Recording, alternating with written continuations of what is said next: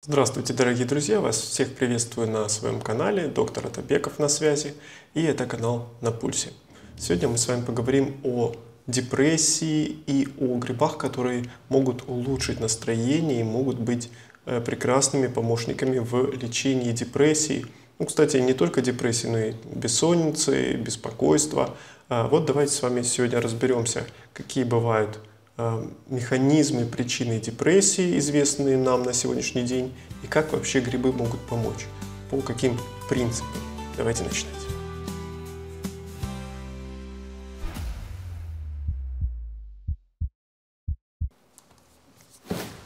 Итак, план видео сегодня такой. Что вызывает депрессию, какие механизмы. И дальше поговорим, первое, о э, триптофане, серотонине, который содержится в грибах – о, э, ну, не смотрите, не пугайтесь названий, э, что тут нейровоспаление, нейрогенез, нейротрофные факторы. То есть это мы с вами сегодня разберем, я вам максимально попробую понятно это все рассказать. И в конце видео, я уверен, вы сами станете большими профессионалами. Итак, на сегодняшний день основной теорией развития и формирования депрессии является теория моноаминов. Что это такое? Серотонин, все мы знаем, так называемый гормон радости, норадреналин, дофамин. И считается, что причиной депрессии, считалось еще изначально, является снижение вот этих вот вещей, допустим, гормон радости, он снижается в мозге, и, соответственно, нету никакой радости. Вот она, возникает депрессия. На самом деле все намного сложнее, и все препараты, которые есть на сегодняшний день для лечения депрессии, они так или иначе направлены, ну, из разработаны, исходя вот из этой теории. То есть смысл э, их чтобы, в том, чтобы повысить уровни моноаминов в головном мозге, тем самым улучшая настроение. Лечебные грибы, я много о них на самом деле рассказываю. У меня есть целый плейлист о них, о разных, э, о там, лечебных грибах против, э, допустим, рака, при Э, болезнях э, ЖКТ и так далее и тому подобное. В общем, это целая природная аптека, отдельное царство, которое сейчас все больше и больше внимания привлекает ученых по всему миру, и я считаю, что не зря. В азиатских странах используется уже очень давно, исследований много на людях даже, допустим, при онкологических заболеваниях и не только. А, но к нам это сейчас только все приходит. Суть в чем? Суть в том, что мицелий или грибница – это и есть сам гриб. Э, он, а не то, что мы привыкли считать, вот он гриб вырос, вот это гриб. Нет, это его орган размножения. А сам гриб, живой организм, который все и производит полезное для нас, это именно мицелий. То есть это такие белые нити. Вот. Поэтому в моем понимании мицелий э, с лечебной целью намного полезнее и интереснее, потому что именно он вырабатывает все вещества. А в грибе много волокон в самом теле, которые, ну, они полезны, конечно, волокна, но э, с лечебной целью именно нас интересуют вот эти уникальные вещества. Причем все грибы разные. Каждый гриб э, вырабатывает свои уникальные вещества, и они имеют э, самые интересные влияния на организм. Изучай да изучай. Так вот, почему мы говорим все-таки о грибах? Потому что Целый ряд исследований а, показал, что у людей, которые регулярно употребляют в пищу грибы, у них ниже шанс заболеть депрессией. Поэтому вот стали изучать этот вопрос, а какая же все-таки связь, какие же вещества в грибах могут помочь в лечении данной проблемы. И мы с вами плавно переходим к трем основным механизмам развития депрессии, которые на сегодняшний день наука считает актуальными. Запомните, три Первое. Первое у нас это снижение моноаминов, то, о чем мы с вами говорили. Опять, препараты нацелены на то, чтобы их повысить. У этих препаратов есть несколько проблем. Первое. Они начинают действовать не сразу, а там недели через две, через три. Представляете, если человеку нужно срочно э, помочь, если у него тяжелая депрессия, там, суицидальные настроения, а ему говорят, ну ты пей таблетки, через там, пару недель тебе поможет, возможно. Вторая проблема – конечно, много побочных эффектов. Третья проблема – это что у одного из трех пациентов, страдающих депрессией, они не имеют никакого эффекта, не помогают. Что делать таким людям? Это действительно большая проблема. И тут переходим ко второму варианту. Почему может возникать депрессия? Это нейровоспаление.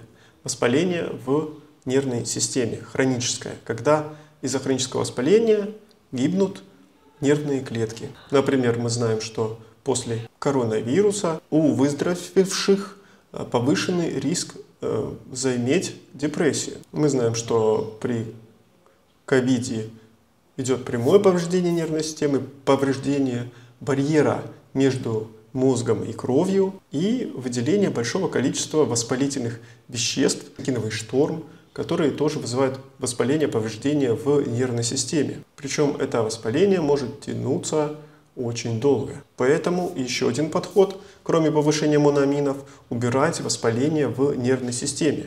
И третий важный подход, это э, очень интересная э, с моей точки зрения теория о том, что, ну, вы слышали, наверное, раньше, нервные клетки не восстанавливаются. Так вот, на самом деле они восстанавливаются, они делятся, образуются новые нейроны, Старые могут погибать, новые образуются, растут их э, нервные отростки, формируют связи друг с другом. То есть это тоже обновляющаяся система. И вот этот процесс защиты нервных клеток от гибели, э, роста э, и деления их, это процесс называется нейрогенез, и он регулируется и стимулируется некоторыми веществами, так называемыми факторами роста нервов. Эти все вещества вырабатываются в нашем организме, чтобы стимулировать обновление нервных клеток. Так вот, оказывается, что у больных депрессией у них снижено количество вот этих вот нервных стимуляторов, нервных факторов. И, соответственно, у них идет атрофия частей мозга, которые ответственны за настроение. Соответственно, у больных депрессией мы можем увидеть действительно вот эти части мозга, э, в которых формируется настроение, они могут быть уменьшены по размеру. Кстати, подобные вещи можно наблюдать при э, слабоумии, при деменции, при болезни Альцгеймера, при болезни Паркинсона. Просто все зависит от того, в каких регионах это все происходит. Поэтому третьим подходом является повышение вот этих факторов роста нервов. Если вы хотите узнать больше об этом, можете почитать вот данную статью. Эта статья как раз о нейрогенезной теории в развитии депрессии. А вот исследование, о котором я вам говорил, где прошел анализ э, с 2005 по 2016 год, в котором говорится, что действительно, если люди употребляют регулярно грибы, у них ниже риск заболеть депрессией. И теперь давайте с вами по пунктам пробежимся. Все-таки как же грибы нам могут помочь в данном случае? Итак, аминокислота, триптофан или все вот э, соединения триптофаноподобные, вы видите, что э, они нужны для того, чтобы синтезировать серотонин. Это важный нейромедиатор в голове в наш, в наш это моноамин, потому что мы знаем, что серотонин он снижен у пациентов с э, депрессией. И это к теме нашей самой основной старой теории депрессии, о том, что депрессия это снижение уровня моноаминов. Что можно делать? Можно употреблять, допустим, триптофан с пищей, чтобы его было больше, чтобы организм больше его, э, из него производил серотонин. Кроме грибов, источниками триптофана являются соя, тыквенные семечки, спирулина, фасоль, помидоры, ну и некоторые другие продукты в меньшей степени. Так вот, чтобы триптофан попал в мозг, что нам нужно делать? Дело в том, что триптофан – это аминокислота, и когда мы поели продукты, много всяких аминокислот попадает в наш организм, а барьер между кровью и мозгом, он обладает своей пропускающей способностью, пропускной. Представьте себе поезд, э, и огромное количество пассажиров, аминокислот, которые мы съели, пытается в него забраться. Там ограниченное количество мест – Триптофан попадает туда? Попадает, конечно. Но в сравнении со всеми остальными аминокислотами не настолько много. А, вот. А нам нужно, хочется, хотелось бы много триптофана, чтобы попало в мозг, чтобы произвелся серотонин. Соответственно, если мы употребляем углеводы, много белка или делаем упражнения, у нас вот эти все аминокислоты большие, они начинают загоняться в мышцы. А при этом э, триптофана в сравнении с ними становится уже не так уж и мало. И, соответственно, он может больше мест занять в поезд, в мозг. Соответственно, лучше будет туда проникать. Но здесь я бы обратил внимание прежде всего на физические упражнения. Мы знаем, что после спорта нам, у нас улучшается настроение зачастую. Я думаю, многие это замечали. Обратите внимание на эту таблицу. В каких же грибах содержится хороший, содерж... Э, с хорошей концентрацией триптофана, серотонина. Ну, прежде всего, конечно, это вешенка, особенно вешенка розовая, вешенка обыкновенная. Лисичка, если вы видите, вот она, здесь очень мало. Хотя, когда я употреблял лисичку, я почувствовал, ну, такой пофигизм.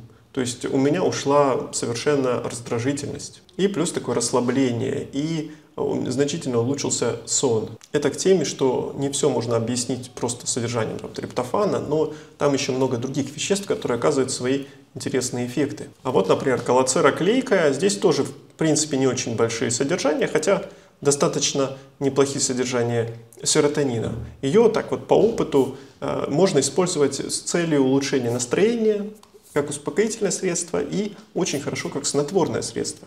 Кстати, и белый трюфель тоже. Но это плодовые тела. А теперь обратите внимание, если мы откроем мицелий. К сожалению, не все далеко грибы, особенно интересные э, мне, э, попали в этот список, исследовались, потому что есть много грибов, например, тот же шиитаки, который неплохо улучшает настроение. Но мы видим, что в мицелии содержание веществ, серотонина того же, в 4 раза выше, чем в плодовом теле. Это к теме того, что я вам говорил до того, что мицелий с лечебной целью намного интереснее. Более того, при термообработке многие вещества начинают разрушаться, а грибы вы вряд ли будете есть сырыми, или там даже заливать уже чагу кипятком, все равно будет разрушение веществ. А если мы употребляем именно мицелий, то он сушится при 40 градусах и, соответственно, а, никакого разрушения не будет. То есть опять еще один плюс мицелия. И как раз об этом говорится в данной статье, что действительно в 4 раза выше содержание э, нужных нам веществ в мицелии в сравнении с плодовыми телами. Дальше. А, есть такая разновидность депрессии, когда ничего не помогает, она тяжелая и даже с суицидальными мыслями. Э, в чем тут сложность и в чем тут опасность? Привычные препараты некоторые, они, скажем так, они дают, ну, они действуют, во-первых, не быстро, то есть вот этому человеку надо дождаться эти две недели, пока они подействуют. Это раз, это первый минус. Второй, у человека начинает немножко появляться энергия, а представляете, если у него есть суицидальные мысли, то до этого, если он ничего не делал с собой, потому что у него, ну, совсем у него настолько тяжелая депрессия, что он не встать с кровати ничего не мог, то в этот именно период начальный повышаются риски совершения нехорошего. Это на самом деле известная проблема с данными препаратами. Так вот, хотелось бы иметь что-то более такое быстро действующее, э, чтобы помочь пациентам таким сразу и быстро. На самом деле, я вам сразу пишу, что это все в большинстве стран запрещено, потому что это галлюциногенные грибы. Многие слышали про псилоцибы, про псилоцибин. Так вот, есть даже исследования на людях, крупные, где показано, что эти вещи действуют быстро. Это может реально помочь людям с тяжелой депрессией, когда ничего не помогает. Дело в том, что эти вещества, они воздействуют на зрительную кору. А зрительная кора – это часть э, головного мозга, где обрабатываются сигналы от наших с вами глаз – Соответственно, если без всякого сигнала начать стимулировать его веществами, то могут возникать всякие зрительные образы, картинки, узоры так зрительные. Соответственно, это галлюциногенные грибы, они запрещены. Хотя в микродозинге, в очень малых дозах, как вот раньше пробовали, мухомор, там, красный, пилоцибиновые всякие грибы, я ни в коем случае не призываю никого это использовать. Это запрещено. Нельзя, нельзя, не надо меня блокировать YouTube. Так вот, эти вещи э, реально могут помочь с настроением, улучшить концентрацию внимания и э, помочь пациентам вот с такой тяжелой депрессией. Но на них я не буду надолго останавливаться, потому что это на сегодняшний день запрещено. Ну, потому что некоторые люди э, вместо благих целей начнут использовать их, сами знаете, с какой целью. Теперь переходим к следующему, второму механизму. Э, не, это нейровоспаление. То есть хроническое воспаление в нервной системе вызывает гибель нервных клеток. И, э, соответственно, как мы до этого, как говорится, дошли, э, дело в том, что э, попытки лечения гепатита С интерфероном вызывало, вызывали иногда такие осложнения в виде депрессии. И при этом у таких пациентов наблюдалось повышение воспалительных цитокинов, как при ковиде, реактивного белка. При этом в опытах на как на животных, так и в исследованиях на людях было выяснено, что при этом э, никакого снижения триптофана, серотонина не наблюдалось. То есть тут был другой механизм.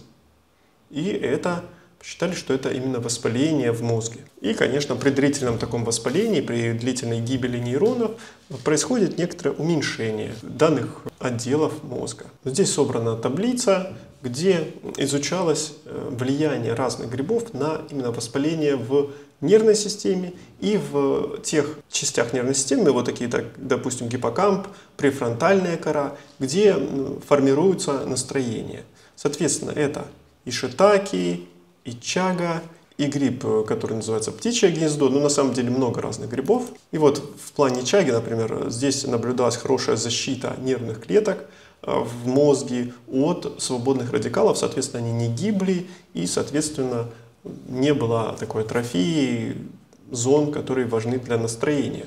На самом деле, в очередной раз повторяю, что чага – это один из самых интересных грибов в плане антиоксидантной мощности – о чаге у меня есть отдельное видео. Вот другие грибы. Тот же, например, ежовик гребенчатый.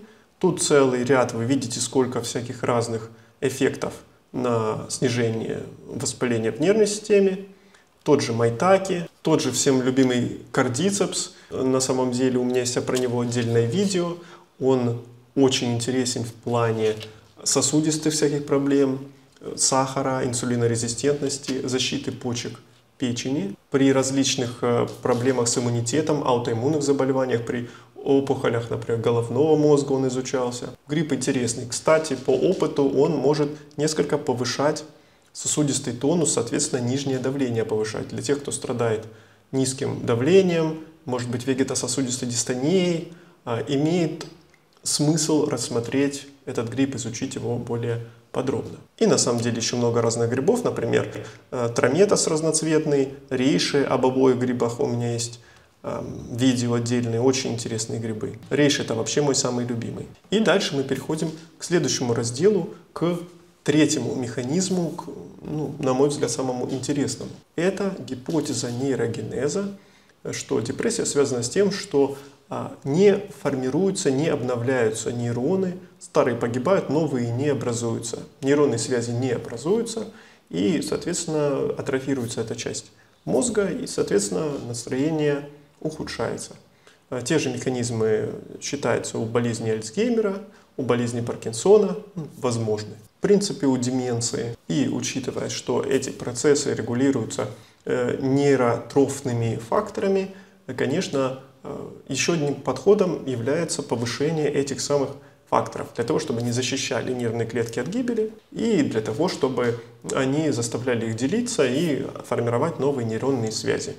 Кстати, это очень интересный подход, потенциальный для, допустим, тех, кто имеет травмы нервной системы, инсульты, например, или вот пациентам с онкологическим с нейропатией, с онемением, а, с мурашками в пальцах э, или слабостью какой-нибудь, на фоне той же химиотерапии. Э, официальная медицина особо ничего предложить не может, кроме витаминов группы В и тектовой кислоты. Но, к сожалению, здесь эффективность очень сомнительная. У кого-то, если само восстановится, значит хорошо, не восстановится, ну, не повезло.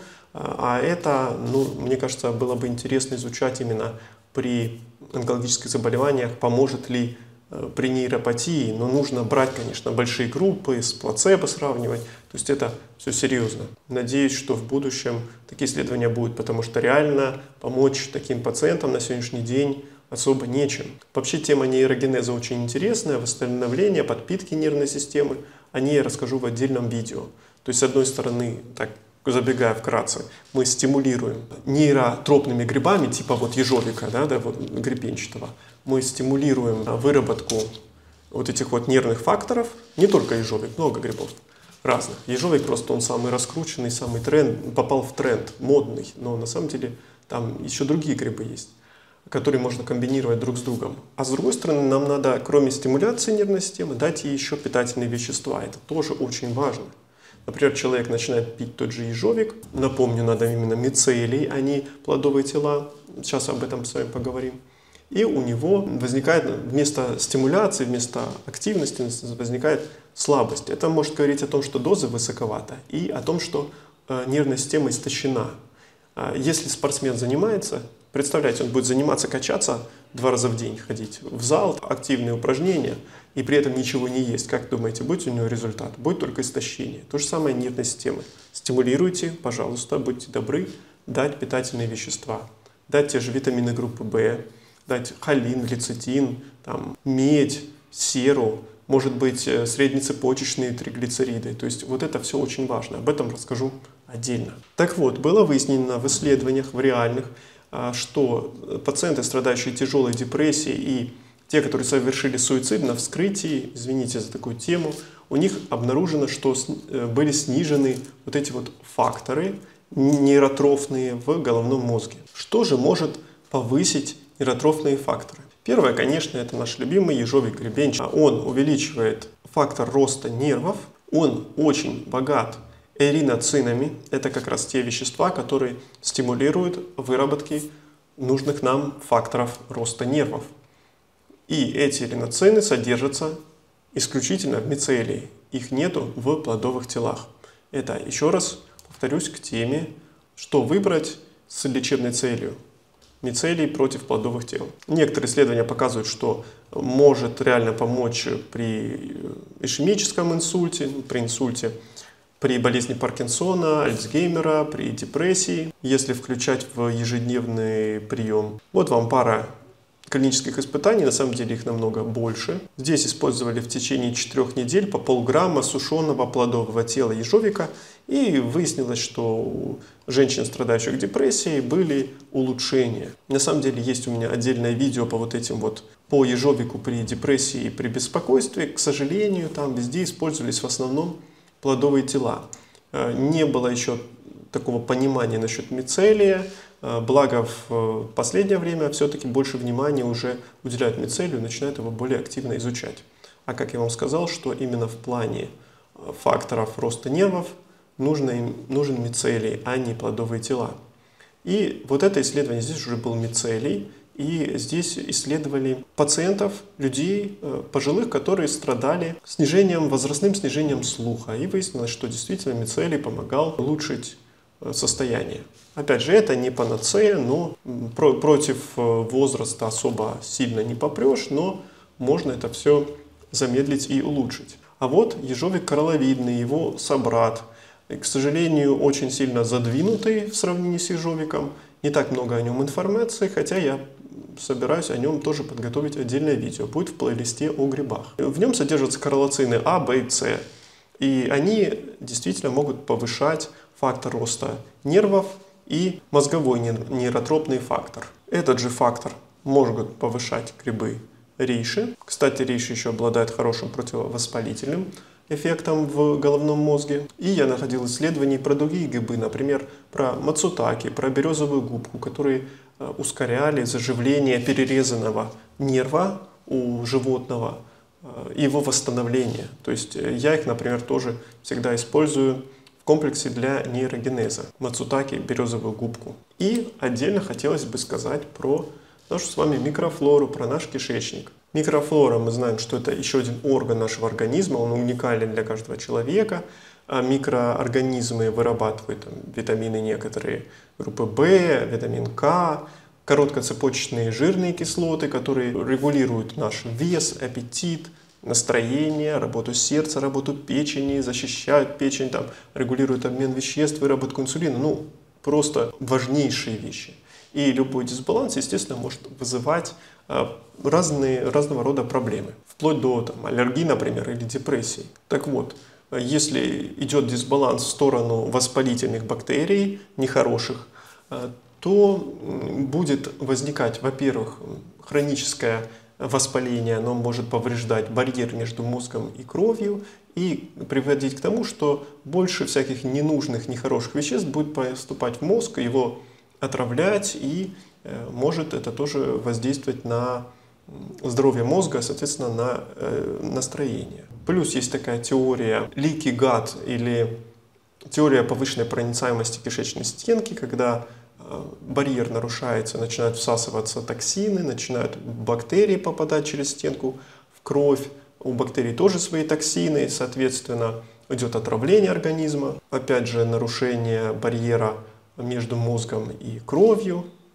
Это все тоже отравляет головной мозг. А, например, мы помним о, об опытах, когда мышам с депрессией пересаживали э, флору фекалий э, к мышам нормальным, и у тех нормальных мышей после этой пересадки тоже возникала депрессия. Поэтому связь тут, видимо, есть. Соответственно, мы знаем, что грибы действительно они воздействуют и на микрофлору, и могут подавлять воспаление, и могут также восстанавливать э, барьеры, в частности кишечный барьер. Вот здесь вы видите систематический обзор, сбор, таки, сбор разных исследований о связи э, между настроением и микрофлорой. Почитайте, если хотите, вот авторы есть, название есть.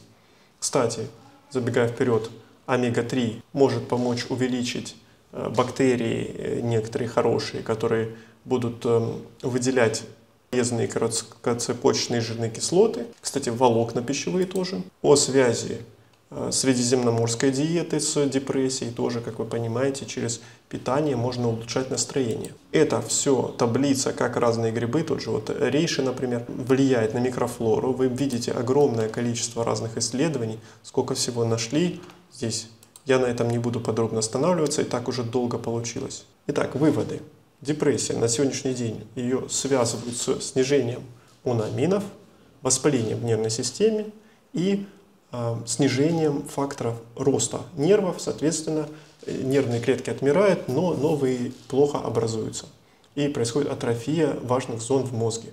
Э, грибы могут воздействовать на все эти три механизма и даже больше, даже еще и на кишечник воздействуют, тем самым снижая воспаление, являются источниками триптофана, серотонина и повышают факторы роста нервов. Дорогие друзья, я надеюсь, вам было интересно. Пожалуйста, делитесь своим мнением и мыслями в комментариях. Я вам всем желаю крепкого здоровья, хорошего дня. До свидания.